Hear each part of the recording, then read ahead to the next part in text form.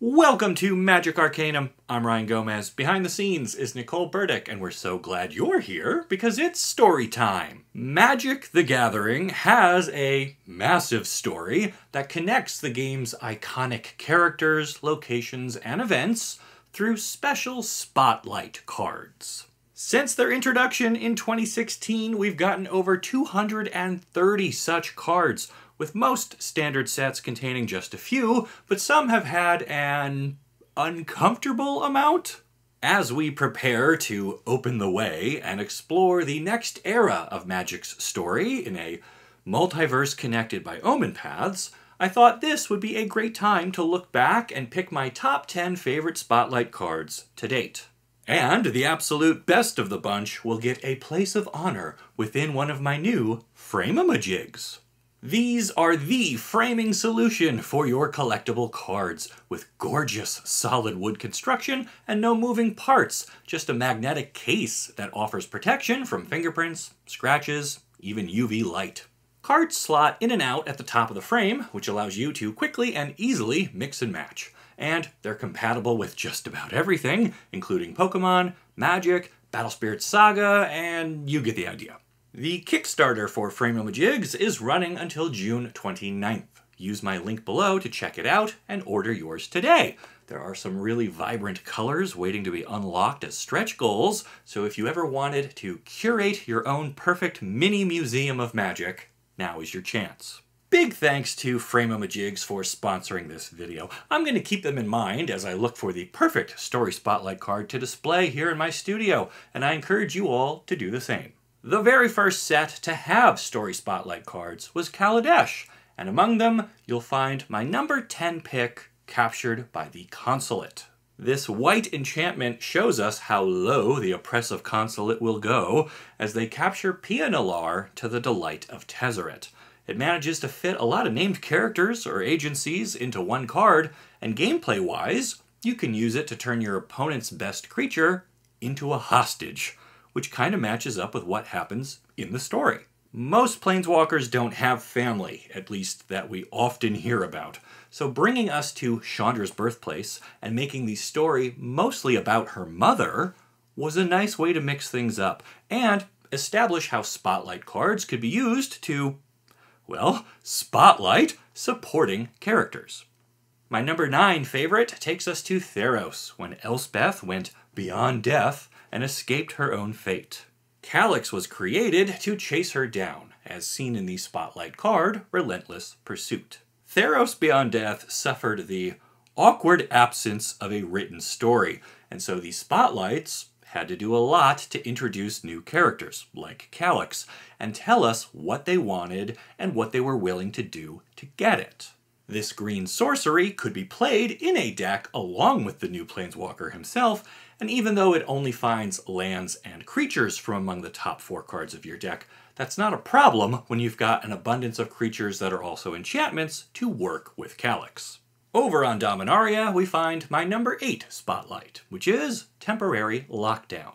The Phyrexians have once again come to the plane and are making great use of their sleeper agents to infiltrate and destabilize the coalition forces on a large scale, but this chapter of the story has a much more intimate focus, as a small group of allies are locked in a tower with a single Phyrexian threat.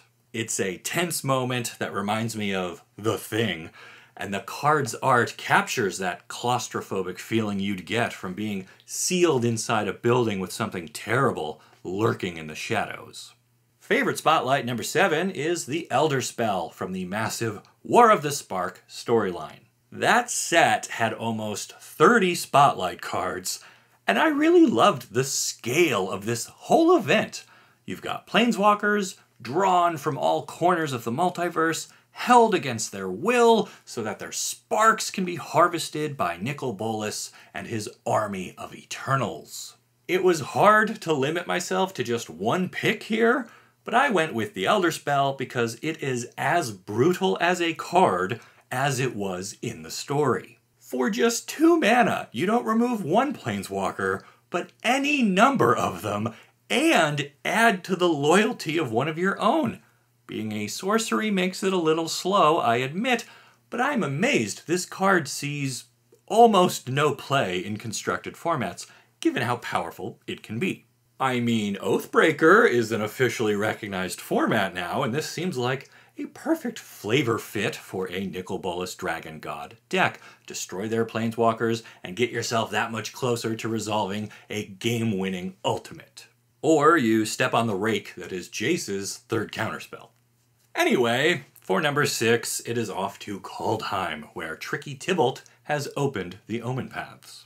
Not to be confused with the Omen Paths dotting the landscape of the multiverse now. No, these Omen Paths had a more specific and sinister focus. You see, Tibalt stole the Tyrite sword and used it to slice his way across the various realms of Kaldheim, intending to trigger a Doomskar before being stopped by Kaya and Tyvar. Open the Omen Paths captures the danger of Tibalt's actions with this swirling, unsettling ring of serpents and the devilish planeswalker is standing at the center, cradling his stolen magical sword, delighted to see the rip in the sky forming before him. Gameplay-wise, this card offers two seemingly harmless options, but they are deceptively powerful. Turning 3 mana into 4 can allow you to jump ahead on the board, or, if you're already ahead there, giving your team plus one power can be just enough to ruin combat math for your opponent. It was a moment where Tibalt started to change the fate of a whole plane, and the card could change the direction of a whole game, which is why I really like this one. Fifth place takes us back to Ravnica and the War of the Spark, to the moment Gideon sacrificed himself to save fellow Gatewatch member Liliana. This would go on to shape Liliana's character development for years, and the loss of Gideon would also greatly affect Chandra, Nissa, and Jace as they struggled to find their way without a group leader. It's a bit cheesy in the friendship defeats true evil kind of way, but it's a great representation of White's philosophy within the color pie, and I like how the card mirrors the story by letting you throw all of your lethal damage onto one creature or planeswalker, allowing you to live to see another day. Urza's Sylex is my number four favorite Spotlight card. This supremely powerful magical artifact has been represented a few times in the game's history, but this version from the Brothers' War most closely matches with what we're told it can do in the story. It will wipe the land clear, leaving everyone with just a few scant resources remaining, and you can even use it to ignite the spark of a planeswalker hiding somewhere in your deck and bring them to your hand. It's named after one of the game's most iconic characters, and using it echoes one of the most destructive events they were ever involved in. That's a lot of flavor packed into three colorless mana. My next favorite Spotlight card almost feels like cheating because it's really two cards, not one, and that's Extus and Awaken the Blood Avatar. Extus was the main villain of the Strixhaven set. He was a former student of the school who became obsessed with destroying it and decided to awaken an ancient evil and unleash it on the unsuspecting campus. So we get a card with both the front half is Extus as a legendary creature with a pretty strong Magecraft trigger that gets your defeated creatures back from the graveyard, and the backside is a sorcery that is cheaper to cast the more you're willing to sacrifice. The Blood Avatar token it creates is also pretty cool as a 3-6 that does an additional 3 damage to each opponent when it attacks.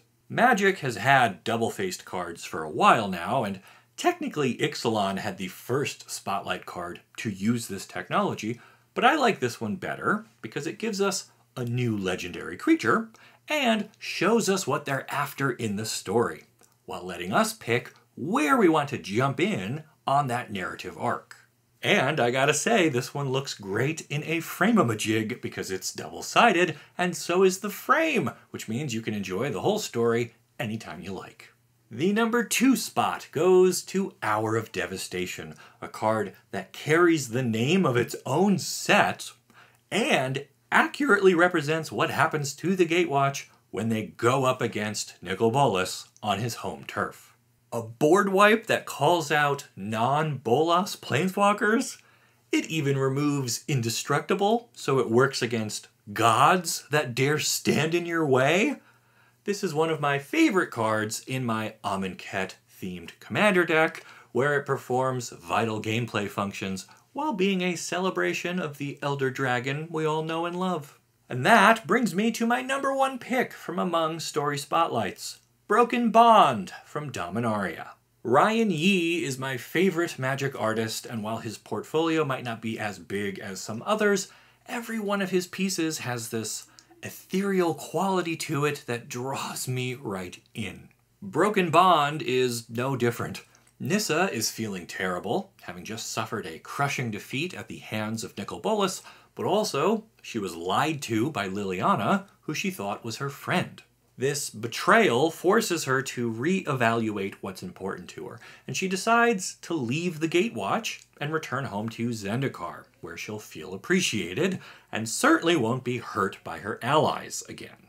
There are a lot of subtle mechanical underpinnings to this card. It destroys artifacts or enchantments, which is iconic to Green's position in the color pie, and it matches Nissa's desire to do away with artifice in that moment of the story. She wants to return to something real and trustworthy.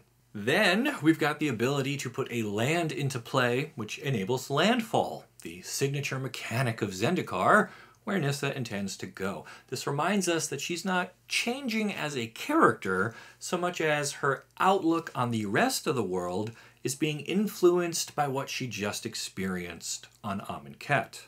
Oftentimes in superhero stories, the good guys never lose.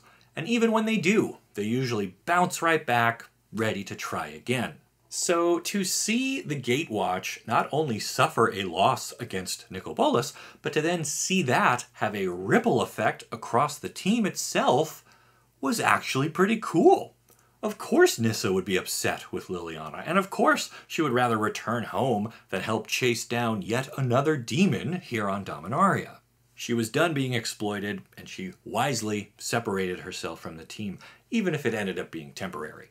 It was a bold moment for the story, featuring a character I've really enjoyed seeing grow over the years, illustrated by my favorite artist in the game. That makes it my number one story spotlight card, and the perfect one to slot into a Frame-a-Majig and proudly display here in the Arcanum studio. Remember, you've got until June 29 to join the Kickstarter using my link down below and order these for yourself. They're a great way to show off your favorite cards from your favorite games, and I would love to hear what you're planning to put in yours. Maybe you have a legend you want to display, or a series of basic lands from a plane you wish you could visit, or something signed by your favorite content creator. Let me know down in the comments, and then make sure you like this video and subscribe to the channel so you don't miss the great stories you'll only find here on Magic Arcanum. We'll see ya!